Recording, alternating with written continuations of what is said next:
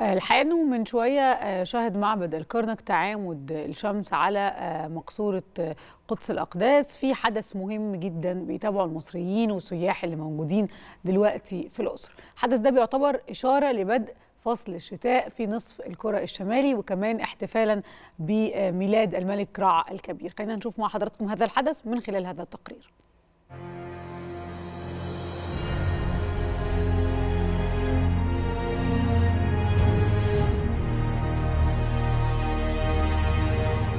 وسط احتفالات وحالة من الترقب لرؤية إبداع المصريين القدماء شهد معبد الكرنك تعامد الشمس في السادسة والنصف من صباح اليوم حيث أشرقت الشمس موازية للمحور الرئيسي لمجمع معابد الكرنك بالأقصر ولتتعامد على قدس الأقداس معلنة حلول الانقلاب الشتوي الذي يحدث في نفس اليوم عند الساعة الحادية عشرة وثمانية وأربعين دقيقة مساءً.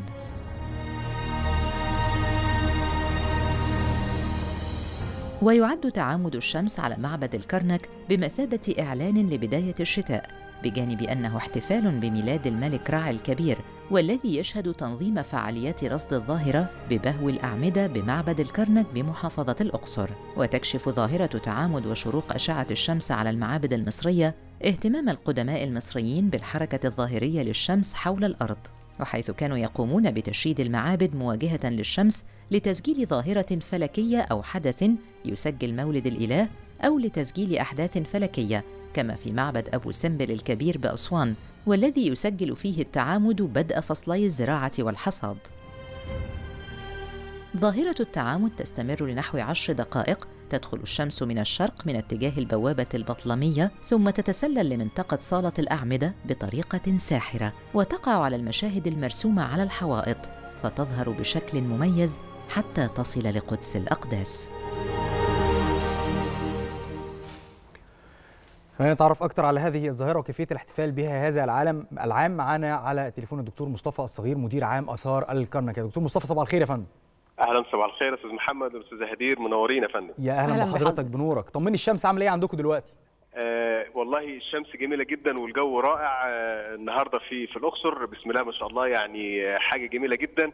آه احتفلنا بالفاعلية في أجواء آه جميلة ومبهجة للغاية يعني. عظيم جدا. طيب عايزين نتعرف منك على مظاهر الاحتفال السنة دي وهل هي كانت مختلفة عن السنة اللي فاتت؟ مظاهر الاحتفال طبعا هي بإشراف طبعا وزارة السياحة والآثار ومحافظة الأقصر والنهاردة لأول مرة بيشارك معانا معهد البحوث الفلكية والجيوفيزيقية آه طبعا علشان يبقى رصد للظاهرة وتأصيل ليها. آه كان طبعا في فعاليات جميلة من الفنون الشعبية والفولكلور الشعبي في مقدمة مداخل معابد الكرنك. آه كمان كان في شرح للظاهرة نفسها وحدوثها. آه كان النهارده الجو رغم وجود بعض السحب ولكن الأمور الحمد لله ظهرت بوضوح شديد جدا. الشمس كانت ظاهرة ويعني آه النهارده كان الجو طبعا جميل جدا وكانت حاجة جميلة ومشرفة للغاية. وكان في إقبال معقول جدا وكويس جدا علشان الناس تتابع الظاهرة بشكل يمكن جميل ومنظم للغاية.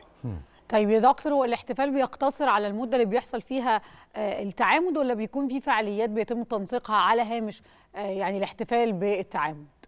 بالفعل في فعاليات تانية طبعا على هامش رصد الظاهرة.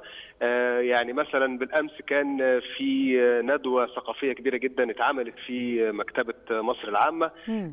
شارك فيها الكثير من علماء الفلك وعلماء المصريات علشان يبرزوا جمال الظاهرة نفسها و الدرجة العبقرية اللي وصلها المصري القديم في علوم الهندسة وعلوم الفلك معا. حتى كمان كان في رصد لبعض الأجرام السماوية كانت موجودة باستغلالا للظاهرة. طبعا إلى هامش الموضوع برضو في عندنا بيواكب الحدث في مهرجان التحطيب موجود حاليا في الأقصر برضو بيتم الاحتفال به في ميدان أبو الحجاج أحد أكبر الميادين عندنا في الأقصر ففي فعاليات مختلفة طبعا بتزامل أو يعني بتزامن الظاهرة اللي إحنا بنرصدها النهارده في الكرنك. عظيم دكتور حضرتك قلت إن في توافد من السياح والناس بشكل عام حتى المصريين إن هم يشوفوا هذه الظاهرة. هل حضرتك عارف في جنسيات معينة مثلا جت مخصوص عشان تشوف هذه الظاهرة ولا السياح اللي كانوا موجودين بالفعل في الاقصر آه هو في طبعا يا فندم آه ناس من الأجانب المقيمين هنا كانوا حريصين إن هم يتواجدوا من الساعات الأولى قبل شروق الشمس عشان يرصدوا الظاهرة. آه طبعا دول أغلبهم من جنسيات أمريكية وأوروبية مختلفة. بالإضافة كمان لتوافد الأجانب اللي هم زوار اللي هم طبعا موجودين في الأقصر. بصفة عامة وجم النهارده مخصوص علشان عدلوا البرنامج بتاعهم علشان يقدروا يزوروا الكرنك ويرصدوا الفاعلية من الساعة السادسة صباحا. هنا طبعا اللي كنت أقصده يا دكتور إن آه اللي كنت أقصده هل في ناس بتحجز مخصوص وتيجي الاقصر عشان تشوف هذه الظاهرة؟ فعلا في في عندنا يمكن ناس جنسيات أمريكية كان كان موجودين النهارده بوضوح. جايين مخصوص علشان يشوفوا الظاهرة ويرصدوها واحتلوا الصفوف الأولى كمان في في مدخل المعبد علشان يكونوا موجودين في المقدمة ويقدروا يرصدوا الظاهرة بكل وضوح. فكان فعلا في إقبال يعني معقول النهارده لرصد الظاهرة.